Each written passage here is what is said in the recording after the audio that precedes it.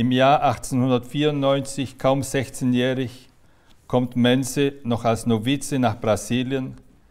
In Salvador erhält er die Priesterweihe und 1906 treffen wir Frei Hugo in Rio de Janeiro. In der von ihm mitbegründeten und redaktionell geleiteten Zeitschrift Voces de Petropolis wetterte er gegen die blinde Ungläubigkeit von Juden, Heiden, Franzosen und deutschen Philosophen. Dabei soll es aber nicht bleiben. Als der apostolische Verwalter der neu gegründeten Amazonas-Prälatur Santarém der Franziskaner Armando Ballmann 1907 Brasilien durcheilt, um Missionare anzuwerben für seine Amazonas-Prälatur. Da ist Frei Hugo nicht mehr aufzuhalten. Seit 1908 finden wir ihn am Tapachos, einem Nebenfluss des Amazonas, wo er den Kontakt zu den Eingeborenen sucht. Am Pfingstfest 1910, so steht es im Tagebuch der Mission, gelangt er zusammen mit den Mitbrüdern Louis Wandt und Chrysostomo Adams in einer abenteuerlichen Reise von 32 Tagen zum Kururu, einem Nebenfluss des oberen Tapachos. Ein paar Tage später kam ihr erster Kontakt mit dem Stamm der Munduruku zustande. Am 9. Juni 1910 nahm der Stammesführer Kadetti Frei Hugo mit in seine kleine Siedlung und dann ging es von einem Dorf zum anderen. Zunächst fanden sie Unterkunft in den Hütten der Indios. Ein Jahr später, am Fest des heiligen Franziskus, am 4. Oktober 1911, also vor 100 Jahren, bezog die missionarische Gruppe ihr eigenes Haus. Nun gehörten auch drei Ordensschwestern der neu gegründeten Kongregation von der unbefleckten Empfängnis zur Mission am Kururu. Das Franziskusfest von 1911, fast zeitgleich mit der Gründung des Internationalen Instituts für Missionswissenschaftliche Forschung, gilt als Gründungsdatum der Franziskanermission vom Kururu. In den Biografien der beiden Akteure vom Jahr 1911 in Münster und am Kururu lief manches synchron. Hugo Mense war nur zwei Jahre jünger als Josef Schmidlin. Der eine kam aus Münster, der andere wurde dorthin berufen. Beide waren Gründer von Zeitschriften, welche die Mission zum Brennpunkt hatten und bis heute existieren. Mense musste 1938 aus Gesundheitsgründen die Mission am Kururu verlassen Schmidlin wurde 1934 aus politischen Gründen zwangsemeritiert. Beide starben im Jahr 1944. Der eine an den Folgen von Tropenkrankheiten im Franziskanerkonvent von Rio de Janeiro, der andere misshandelt im SS-Sicherungslager Schirmeck-Vorbrück. Beide Namen sind festgehalten in Straßenschildern. Hugo Mense Straße in Reda-Wiesenbrück, dem nordrhein-westfälischen Geburtsort Menses, und Josef-Schmidlin-Straße im badischen Breisach, wohin Schmidlin sich nach seiner Zwangsemeritierung zurückgezogen hatte. Beide haben die prophetische Mission, die sich dieses Symposium zum Thema gewählt hat, vorbereitet. Wenn sich Hugo Mense und Josef Schmidlin gekannt hätten, wäre es sicherlich zu einem vertieften Austausch zwischen Theorie und Praxis gekommen. Vielleicht hätten sie sogar beschlossen, ein Gastsemester jeweils am Ort des anderen zu verbringen. Doch zurück zur Missionsgründung am Kururu vor 100 Jahren.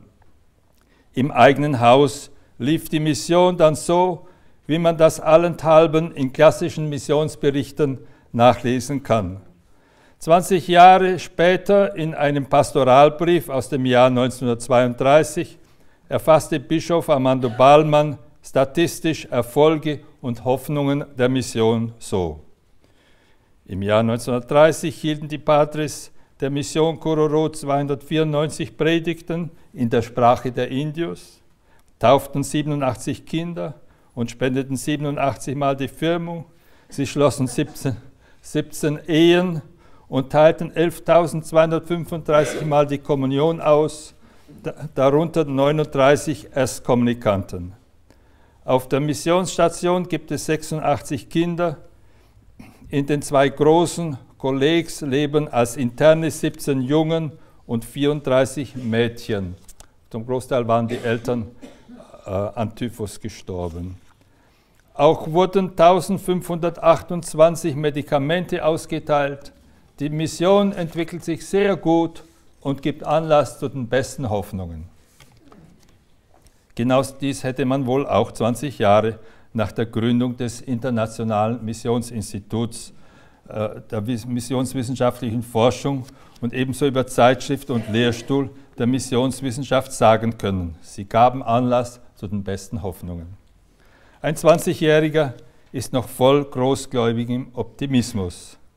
Narzissmus und Apologie sind enge Verwandte. Bei einem 100-Jährigen oder bei einer 100-Jährigen, und das ist ja das Alter beider Jubilarinnen, die eine international beachtet, die andere lokal verortet, werden die Worte sparsamer und Hoffnungen sind durchkreuzt von Zweifeln aber eine Hundertjährige hat auch gelernt, bei institutionellen Verwerfungen und Wetterleuchten nicht zu verzagen. Aus gelernten Meinungen wurden erfahrenes Bedenken und Vertrauen in die jeweils noch geschenkte Zeit.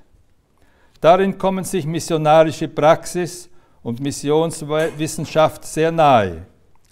Aus apologetischer Heidenbekehrung wird verwissenschaftlichte Bekehrungstätigkeit unter Nichtchristen und dann später ist die Rede von Dialogpartnern mit heilsrelevanten Religionen.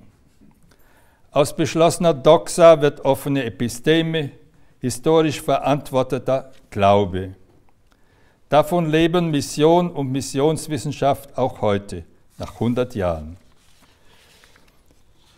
Erstens Abschied von der Apologie. Ich habe fünf Teile.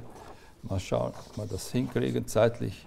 Abschied von der Apologie. Zweitens Zugang zur Wirklichkeit. Drittens Jesus, der Prophet. Viertens missionarische Kirche auf den Schultern der Propheten. Und fünftens prophetische Zeugen. So Abschied von der Apologie. Wer aus Lateinamerika kommt und sich auf Prophetie der Mission im Horizont der Menschenwürde einlässt, muss sich häufig gegen einen starken apologetischen Erwartungshorizont durchsetzen.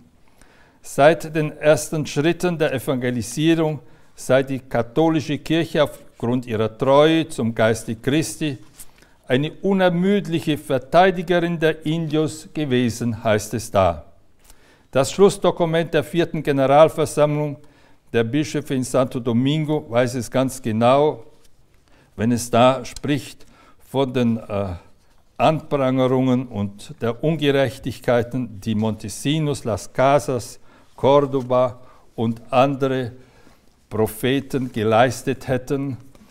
Äh, wie ein Schrei sei es zu einer Gesetzgebung dann gekommen aufgrund dieser Propheten, die auf der Anerkennung der menschlichen Person bestanden hätte. Das christliche Gewissen, so im Dokument von Puebla, kann mit prophetischem Nachdruck in diesem Lehrstuhl für Würde und Freiheit, der an der Universität von Salamanca die Schule von Francisco de Vitoria war, zum Ausdruck. Wer näher nachfragt, kann auch ganz andere Dinge erfahren. Am 16. März 1512 wurde eben dieser Dominikaner Montesinos von seinem Provinzial ein Bußschweigen auferlegt von dem er sich offensichtlich nie mehr erholt hat. Man hört nichts mehr in der Geschichte von ihm.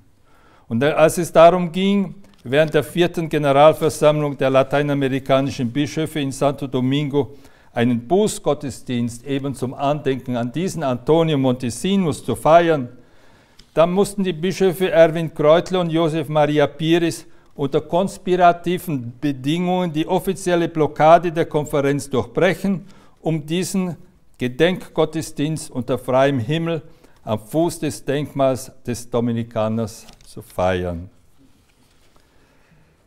Im April 1979, und jetzt frage ich natürlich, wie war das mit Oscar Romero, unserem Propheten?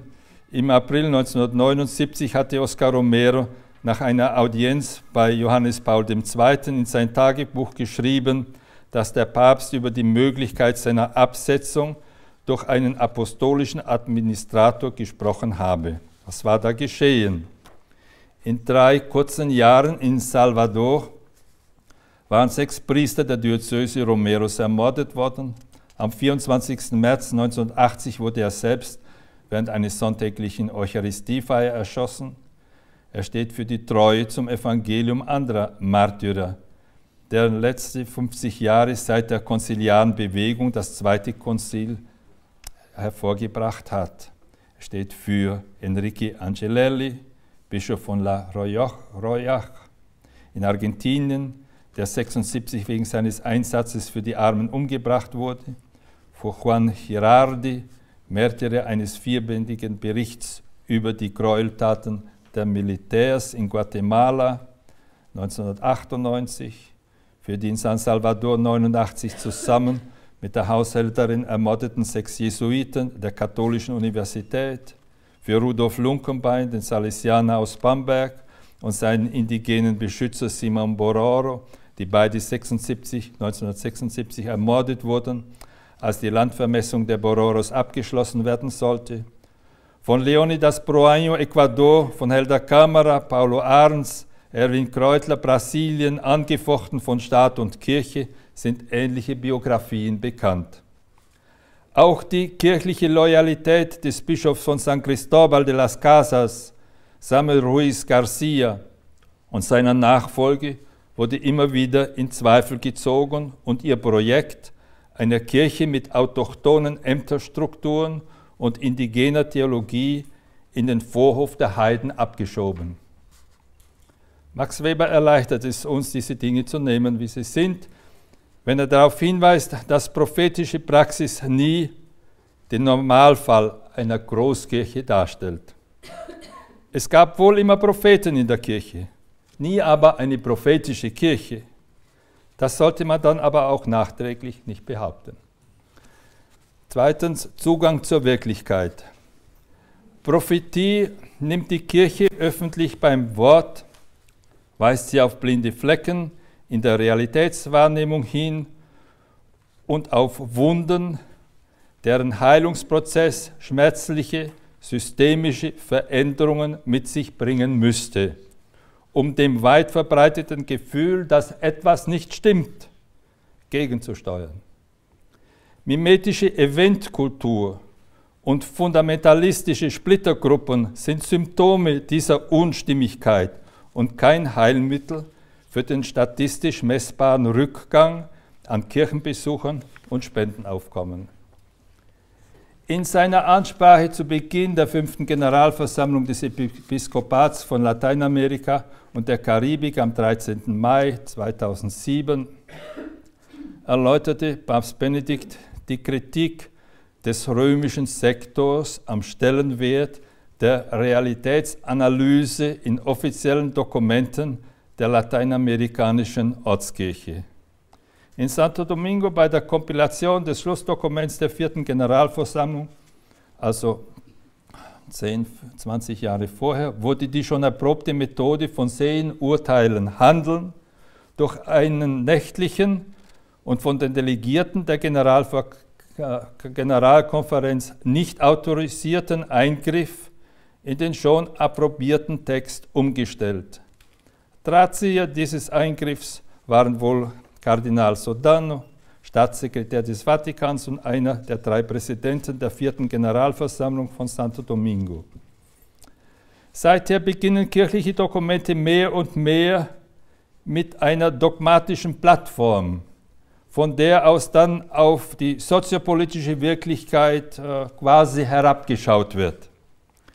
Diese veränderte methodologische Vorgehensweise, mit der die Priorität des Glaubens vor soziologischen Daten garantiert werden soll, zielte ab auf neue theologisch-pastorale Optionen. Zu den strittigen Punkten der Priorität zwischen Glaubensbekenntnis und Sozialanalyse hat sich Papst Benedikt in Aparecida wie folgt geäußert. Ich fasse das etwas zusammen. Er sagte, ja, ihr wollt immer mit der Realität anfangen, ja, das ist schon ganz gut, das kann man schon machen mit der Realität, aber was ist diese Realität? Was ist wirklich die Wirklichkeit? Ist das nur das materielle, wirtschaftliche, politische? Oder geht es da auch um Gott? Wer Gott aus dem Blickfeld ausschließt, verfälscht den Begriff Wirklichkeit und kann infolgedessen nur auf Irrwegen enden und zerstörerischen Rezepten unterliegen. Obwohl es sich bei dieser Sichtweise der Realität doch eigentlich um die Vermischung einer theologischen mit einer soziologischen äh, Realitätsebene handelt, so sind beide Ebenen doch in ein Beziehungsnetz verflochten, das es ermöglicht, jedenfalls in einer kontextuellen Theologie, welche um Inkarnation, Kreuz und Inkulturation keinen unzulässigen Bogen schlägt, die beiden Ebenen durchaus zusammenzudenken, unvermischt und ungetrennt.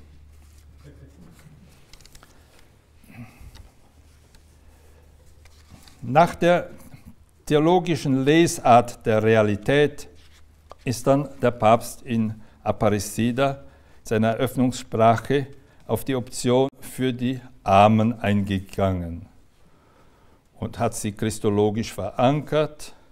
Also man brauche nicht unbedingt auf die Befreiungstheologie zurückzukommen, um für die Armen zu optieren. Wir haben uns darüber gefreut. Das ist ja sehr gut und war ganz in unserem Interesse. Die Gedankenkette verläuft etwas so, Gott gehört in der Analyse der, der Realität hinein. Nur wer Gott kennt, kennt die Wirklichkeit und kann angemessen und wirklich auf menschliche Weise auf diese Wirklichkeit hin antworten. Wer aber kennt Gott? fragt der Papst. Wir kennen Gott in und durch Christus. Und dieser Jesus Messias so der Papst, gibt sich uns vor allem in seiner Person, in seinem Leben und seiner Lehre durch das Wort Gottes zu erkennen. Es ist das Wort Gottes, das sich in ihm klein gemacht hat und ein menschliches Angesicht angenommen hat, damit Gottes Wort in ihm nicht nur gehört, sondern auch gesehen werden kann. Wenn wir dieses Wort Gottes richtig, das heißt in seinem historischen Kontext hören und uns dabei über die verschiedenen analytischen Ebenen von Soziologie und Theologie im Klaren sind, dann braucht das der Wirklichkeitsanalyse vorangestellte christologische Bekenntnis nicht in das Messer einer unsauberen Methodenvermischung zu laufen. Allerdings besteht die Gefahr, dass die christologische Glaubensprämisse durch die Formelhaftigkeit ständiger Wiederholung bei allen Texten die wir jetzt formulieren, dass das leicht zu einer einschläfernden Pflichtübung und Worthülse wird. Drittens, Jesus der Prophet. Ich muss das etwas bündeln. Die Prophetie der Mission führt uns zum Propheten Jesus von Nazareth. Im Glauben der frühen Kirche sowie in den Schriften kommt sie zum Ausdruck, ist Jesus der Messias nicht nur der Horizont alttestamentlicher Prophetie, sondern auch ihre Erfüllung. Durch das Wort des geistbegabten Simeon begegnet uns schon am Anfang der Sendung Jesu das Ganze seiner messianischen Aufgabe. Er wird Gottesknecht und Friedensfürst sein, Licht zur Offenbarung für die Heiden und Verherrlichung Israels. Das Heil wird vor allen Völkern und schließlich für alle Völker verkündet, so wie es bei Isaias vorhergesagt ist.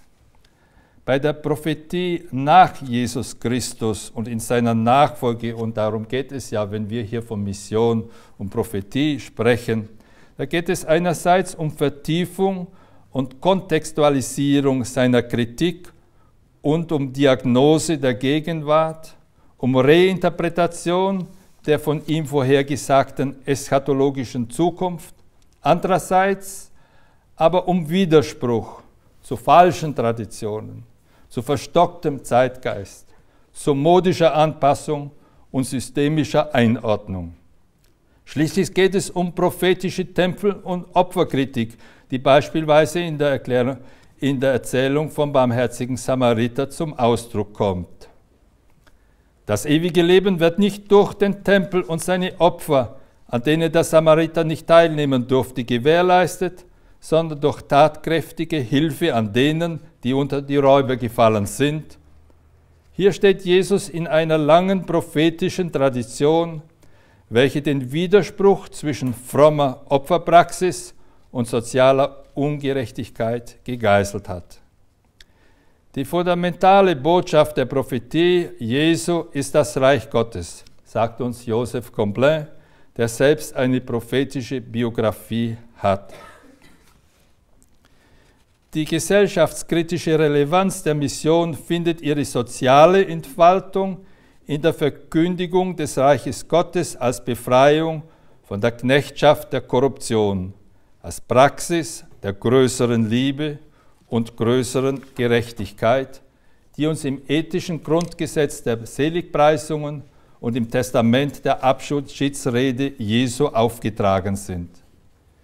Mit der Verkündigung des Reiches Gottes an die Armen in der Synagoge von Nazareth tritt Jesus erstmals öffentlich auf. Seine Option für die Armen steht am Anfang seiner Sendung. Sie ist das fundamentale Zeichen des Widerspruchs seiner Sendung, sein gegenkultureller Einspruch im Konfliktfeld sozialer Spannungen. Die frohe Botschaft für die Armen und anderen und die Predigt vom Reich Gottes sind der theologische Ort der Anerkennung, der allen Mitgliedern der menschlichen Familie innewohnt, wie sie in der allgemeinen Erklärung der Menschenrechte vorgesehen ist. Das theologische Fundament dieser Predigt ist die Gottesebenbildlichkeit aller Menschen und ihre Gotteskindschaft, also ihre Kreatürlichkeit. Mit der Gottesebenbildlichkeit ist die Unverletzlichkeit der Person verbunden und mit der Kreatürlichkeit die Gleichheit aller. Diese Begründung ist heute nicht mehr universal zustimmungsfähig, weil sie ja zu einem partikularen Überzeugungssystem gehört. Nach dem Verlust eines verallgemeinerungsfähigen Gottesbegriffs durch die Aufklärung konnte das dadurch verloren gegangene Abhängigkeits- und Ursprungsverhältnis des Menschen und seiner Würde von Gott in den Begriff der Natur übergeführt werden. Den Anspruch von Universalität, das heißt von gesellschaftlicher Allgemeinheit, Offenbarungswissen, sondern nur durch einleuchtende soziale Relevanz und Solidarität mit den Gesellschaft Benachteiligten beanspruchen nicht nur um diesen Anspruch zu genügen, sondern aufgrund unseres missionarischen Selbstverständnisses in der Nachfolge des Propheten aus Nazareth können wir den Orientierungshorizont missionarischer Solidarität mit Kampf um Anerkennung von Menschenwürde und Gleichheit aller umschreiben. Menschenwürde als Wert verlangt zu ihrer Verwirklichung nach der normativen Regeln der Menschenrechte ist diesen aber und allem Kampf um Anerkennung und aller positiven Gesetzgebung vorgelagert. Punkt 4, missionarische Kirche auf den Schultern der Propheten. Wenn wir von Prophetie als Wesensmerkmal kirchlicher Sendung sprechen,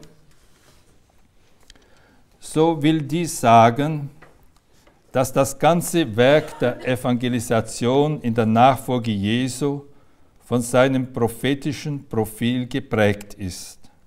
So hat es auch die brasilianische Bischofskonferenz in ihrem Dokument Evangelisierung und prophetische Mission der Kirche aus dem Jahr 205 verstanden, wenn es da heißt, Evangelisieren ist eine eminent prophetische Aktion oder an anderer Stelle, die prophetische Dimension ist wesentlich für die evangelisierende Mission der Kirche. Wie können wir dies verstehen?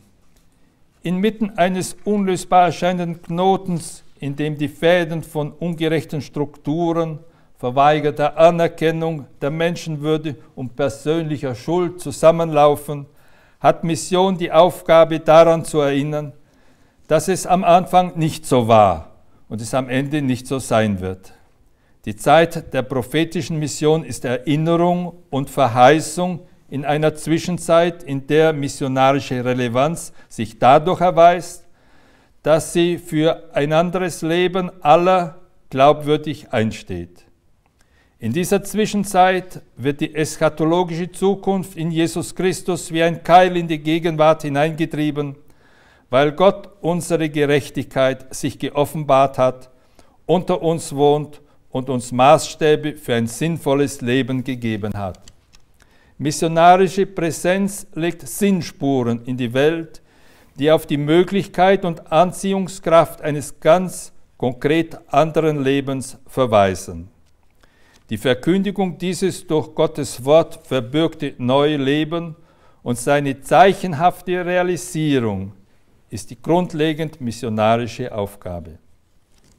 In Geschichte und Gegenwart der Kirche gibt es zwei sehr unterschiedliche Sektoren. Der eine ist zufrieden, wenn es ihm gelingt, das größere Übel zu vermeiden und dadurch Leben zu retten, wenn auch unter unwürdigen Bedingungen.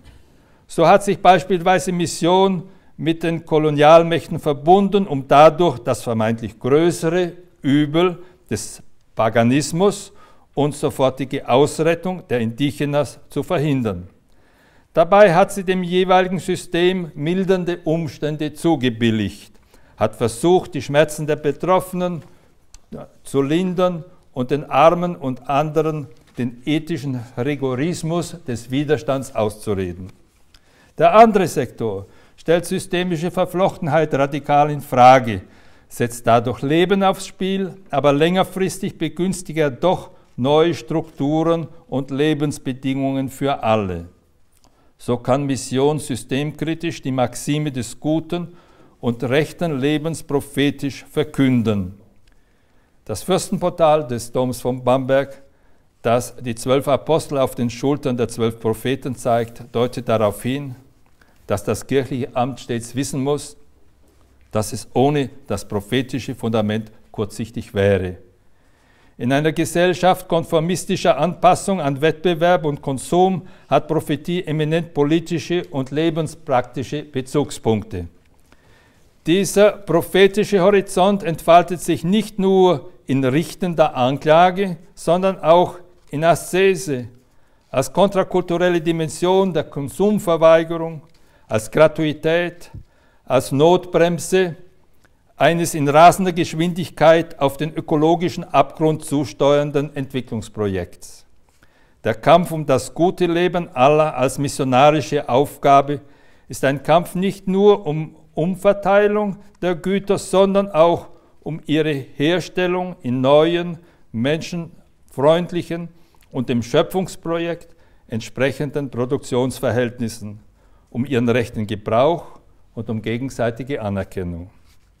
Mission ruft in eine Welt, die unter dem Diktat der Kosten-Nutzen-Rechnung steht, hinein, dass Erlösung aus Gnade geschieht, das heißt durch die Gabe, welche unsere nicht symmetrische Gottesbeziehung aufhebt, in jenem neuen Bund des Friedens, für den wir Weltverantwortung übernehmen.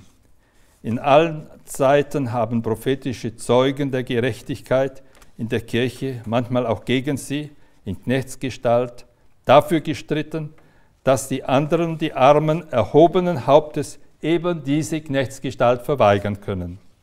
Fünftens die prophetischen Zeugen, prophetische Zeugen. Zeugen der Gerechtigkeit kommen aus der großen Drangsal, in der Ideologien versagen. Sie stehen für die Glaubwürdigkeit einer letzten Gerechtigkeit des Widerstands und der Insurrektion für die Gerechtigkeit der Auferstehung. Nach einem langen Weg von 100 Jahren treffen sich Kururu und Münster in der kleinen missiologischen und missionarischen Prophetie ihrer Zeugen. Es hat sich gelohnt, sagen sie, aus der Welt der mühselig Beladen heraus Sturm zu läuten für eine andere Welt.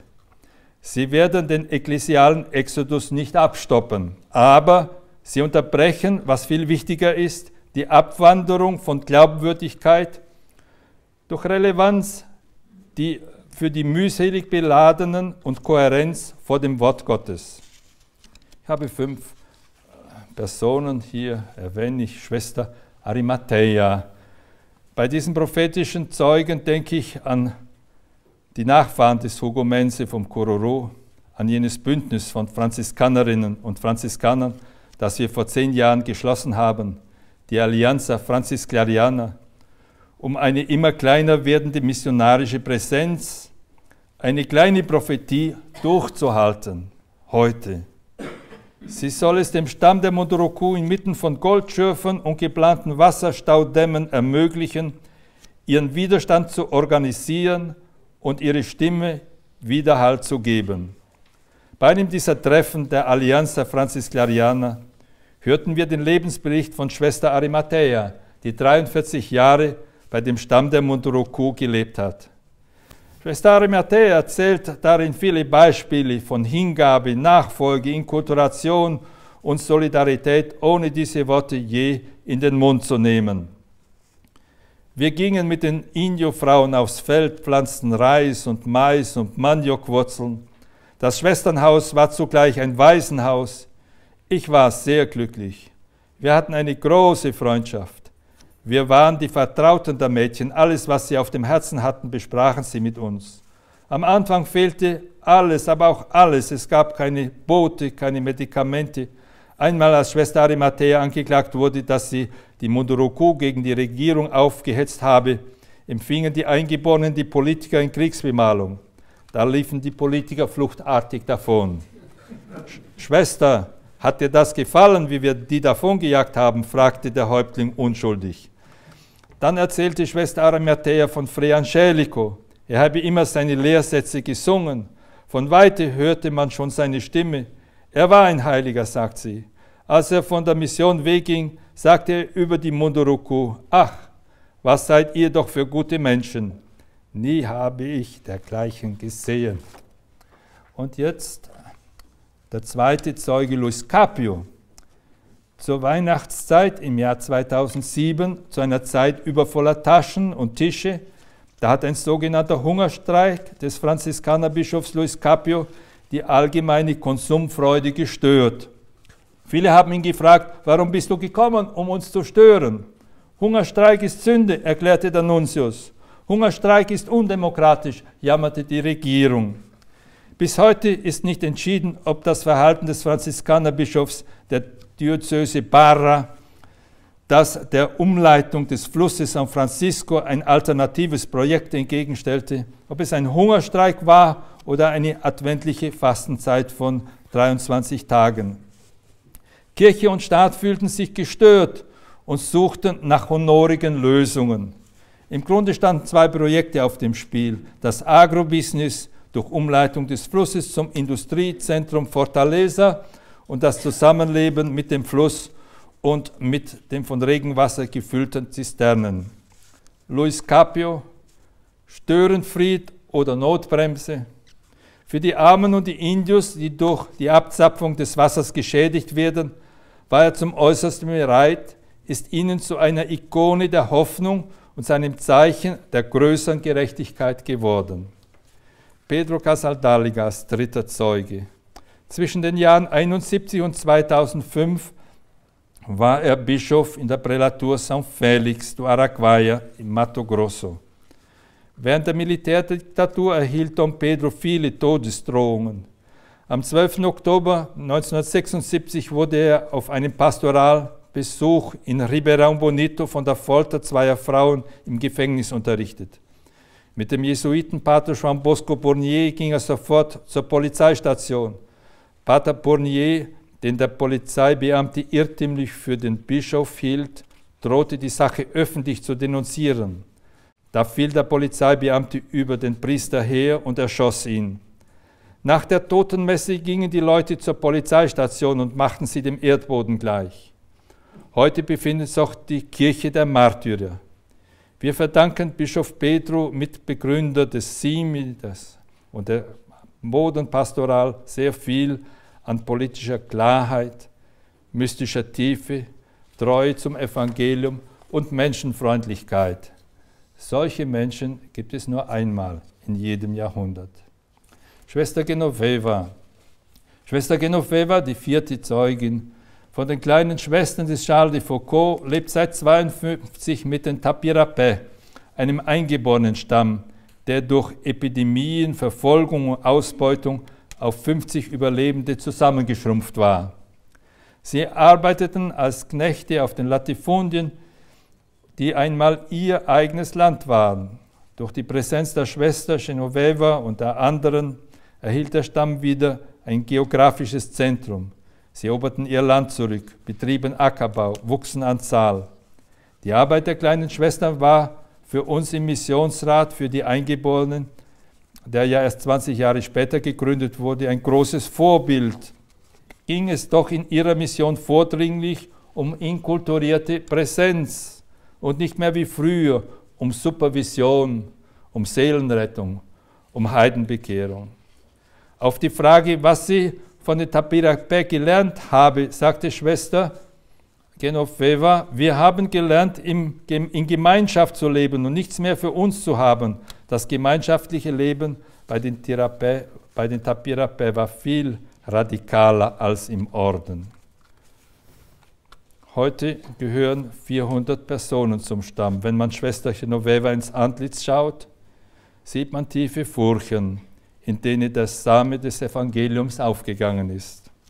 Und schließlich Erwin Kreutler, Bischof Erwin Kreutler hat am 6. Dezember 2010 in Stockholm den alternativen Friedensnobelpreis erhalten. Don Erwin ist Präsident des eingeborenen Missionsrats und hat sich zeitlebens für die Sache der Indios, Kleinbauern, Minderjährigen über seine Diözese hinaus eingesetzt. Sein Weg nach Stockholm war ein Leidensweg. Im Jahr 1983 wurde Kreutler wegen Teilnahme an einer Solidaritätsaktion mit Zuckerrohrpflanzern vom Militärpolizei festgenommen und verprügelt. 87 überlebte er mit schweren Verletzungen einen Mordanschlag. 95 wurde Kreutlers Ordensbruder Hubert Matle am Bischofssitz Altamira ermordet. In seiner Dankesrede in Stockholm hat Don Erwin vor allem zwei Menschen genannt, die ihm besonders nahe standen und ermordet wurden. Ademir Alfeo Frederici, der Dema genannt wurde, und Schwester Dorothy Stang. Dema war Leiter einer kleinen Landgemeinde. Am 23. August 2001 verfasste er ein Dokument, das der Bundespolizei erleichtern sollte, die Landräuber der Gegend dingfest zu machen. Zwei Tage später wurde er ermordet. Im Jahr 2005 wurde Dorothy Stang, die sich 20 Jahre für die Rechte der Kleinbauern an der Transamazonica eingesetzt hatte, ebenfalls umgebracht. Als Kreutler sie zum ersten Mal traf, sagte sie, ich möchte unter den Armen, den Ärmsten der Armen arbeiten. Seit 2006 lebt Bischof Kreutler wegen äh, ganz konkreter Morddrohungen rund um die Uhr unter Polizeischutz. Ich komme zum letzten Absatz. Solche prophetische Zeugen, Arimathea, Capio, Casaldaliga, Genoveva, Kreutler, sind Wegweiser auf der Straße von Jerusalem nach Jericho. Missionswissenschaft in der Diakonie des Lebens wird sich nicht einem statistisch gefütterten Lamento über die fünf Milliarden Ungetaufter hingeben. Sie wird nicht Prophetie unter vorgehaltener Hand betreiben, wird niemand in den Vorhof der Heiden abschieben aber sie wird sich ausliefern, wird Mauern abbrechen und Platz machen für Arme und andere, die aus der großen Drangsal kommen. Sie wird dafür Sorge tragen, dass niemand die abgebrochenen Mauern vermisst und dann erstarrte und das erstarrte Traditionen nicht die Freude am Leben und die Gerechtigkeit der Auferstehung niederhalten. Missionswissenschaftliche Episteme ermöglicht es, Gerechtigkeit als Notwendigkeit zu erkennen, als alltägliche Möglichkeit umzusetzen, als Gnade zu erfahren und in solidarischer Präsenz glaubwürdig zu leben. Danke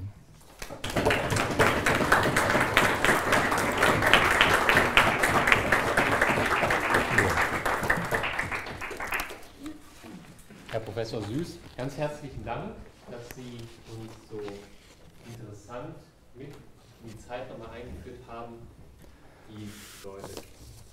Wir haben jetzt bevor wir gleich noch eine Pause haben, die Gelegenheit, die beiden Referenten, die bisher vorgetragen haben, nochmal nochmal Rückfragen zu stellen zu dem, was uns vorgestellt worden ist, eigene Gedanken vorzubringen und die Zeit, die uns jetzt noch bleibt, das sind rund fünf Minuten, die gehört jetzt erstmal Ihnen.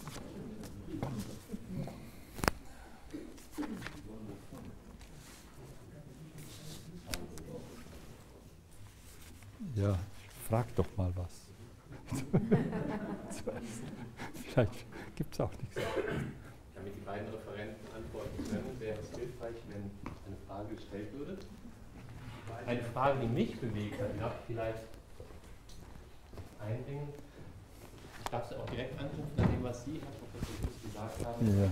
Wir sprachen davon, Mission in eine Welt, die unter dem Diktat von Kosten-Nutzen steht, dass Erlösung aus Gnade geschieht. Mhm. Sie haben den Utilitarismus unserer Zeit angeprangert, ja.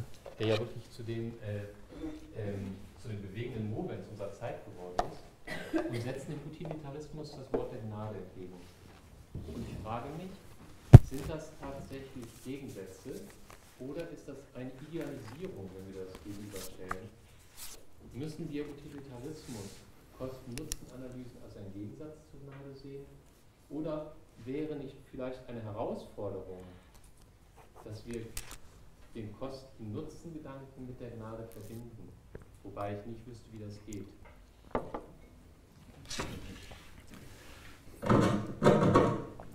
Ich denke, das sind schon äh, ganz radikale Gegensätze. Äh, die Kosten-Nutzen-Strategie, die heute ja das Ganze, das Ganze durchdringt, wie ein Glaubenssatz So wächst das Evangelium ja nicht unter Kosten-Nutzen-Bedingungen. Äh, manchmal wird das auch an uns herangetragen. Ja, mit wie viel Geld bekommt ihr wie viel Indianerland frei? So kann man das nicht machen. Da ist wirklich Gnade ist wirklich das Gegenprinzip zu Kosten-Nutzen-Rechnungen. Äh, wo wir die nicht einbauen, auch in ganz mathematische Kalküls, die ja streckenweise notwendig sind, da verderben wir uns selber. Da kommt dann immer die Frage, ja, was kommt dabei heraus? Was kommt dabei heraus? Das muss berechenbar sein, das muss projizierbar sein, da muss man Projektionen machen. Äh, wie viel bekehren wir damit und so? Diese ganze Zahlenrechnerei. Ich habe so ein bisschen von den 5 Milliarden da, die ja jammern über die 5 Milliarden, die noch nicht bekehrt sind. Dann können wir wieder eine Kosten-Nutzen-Rechnung aufmachen also, und das ausrechnen, mit wie viel Geld, wie viele Menschen und so. So funktioniert das Evangelium nicht, das sehen wir immer, es durchkreuzt immer unsere Rechnungen. Du wolltest dazu was Besseres sagen. ja, ja, also, äh, wir, und man muss sich geradezu da erziehen dazu, dass wir noch irgendwas umsonst machen, dass nicht alles berechnet wird, dass nicht alles, also wenn ich jetzt das mache, auch im äh, Spendengeschäft, dass wir, wenn wir das machen, so, will ich gar nichts dafür dass wir, das ist Liebe. Will ich gar nichts zurück. Eltern wissen, wie schwierig das ist mit Kindern, da kommt zunächst mal gar nichts zurück. Und so diese Haltung der Gratuität, dass sie, dass die Gabe, so wie Marcel Maus das beschrieben hat, das Movens des Stammes wird, so, wir müssen das anpassen. Aber das wäre eine begnadete Kirche, die darüber nachdenkt und das auch streckenweise anwendet. Man kann nicht 24 Stunden am Tag umsonst leben und arbeiten. Ein äh, christliches, ein katholisches Krankenhaus, das sie haben, das hat Ärzte, die bezahlt werden müssen, eine Schule auch. Die müssen also bezahlt werden, also irgendwo muss das ja herkommen. Irgendwie jemand muss es verdient haben. Aber man kann immer dieses Berechnete durchbrechen. So ist ja Gnade. Das Messianische ist immer das Durchbrechen irgendeiner Routine, einer Agenda, eines Plans, dass da ein Fenster aufgerissen wird, so wie in der Mystik, dass er plötzlich eine Sekunde, den Bruchteil einer Sekunde eine Erleuchtung hat und die ihn dann äh, weiterträgt, das ganze Leben. So diese Unterbrechung. Denn, und die Armen, die kleinen Leute, sie kommen immer zur unrechten Zeit. Sie unterbrechen uns immer. Stellen Sie sich vor, äh, irgendwelche Schwierigkeiten. Ich habe also da sehr schöne Beispiele da in der Bischofskonferenz. Da kommen drei Indios an und der Don Luciano, äh, er ist ja schon gestorben. Er hat sich unterbrechen lassen. Er hat ja wichtige Korrespondenz mit Nuntius und Rom und so weiter, hat sich unterbrechen lassen, hat zum Minister telefoniert, hat sie ins Auto gesetzt, ist da hingefahren. Er hätte sie auf den Amtsweg schicken können, hätte sagen können, ja, wir haben da eine, eine Institution, die ist für Indianer zuständig, die werden alles für dich machen.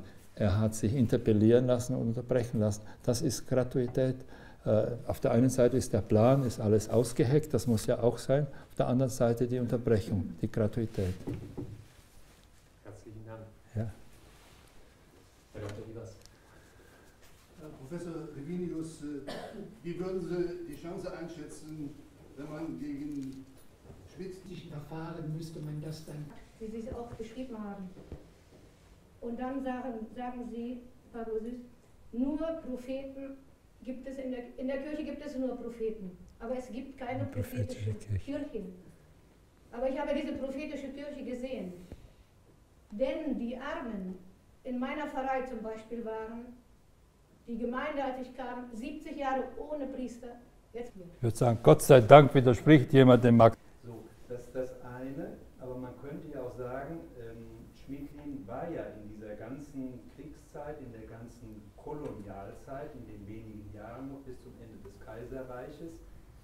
Was war seine Position gegenüber dem Kolonialismus? Hat er das nochmal explizit äh, zur Sprache gebracht oder war er da so in gewisser Nicht, ich hätte sagen müssen, die, es gibt keine Propheten in der Institution. Eine Institution ist nie prophetisch.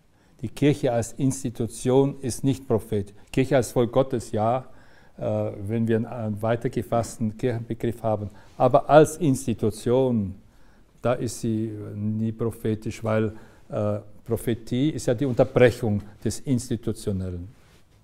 Also, Ein schönes Schlusswort für unsere erste Einheit. Herzlichen Dank an die beiden Referenten. Herzlichen Dank